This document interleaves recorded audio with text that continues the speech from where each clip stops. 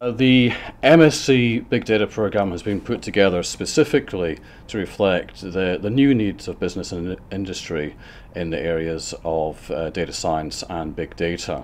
So the, the programme has been put together with all new modules and uh, those modules cover the area of uh, big data technologies, cloud technologies, uh, Internet of Things, data analytics. So all the, the, the key fundamental uh, activities that one has to undertake when one is developing uh, systems in that area. At GCU, we're taking a unique perspective on this. There are a lot of courses in data science. What we're doing is merging uh, data science with the underlying technologies uh, that are required to actually build applications that use data science. We feel we have a unique perspective. I've chosen the program Big Data Technologies because of Internet of Things and the, the new inva- advancement in uh, industry and requirements for uh, big data specialists and data scientists.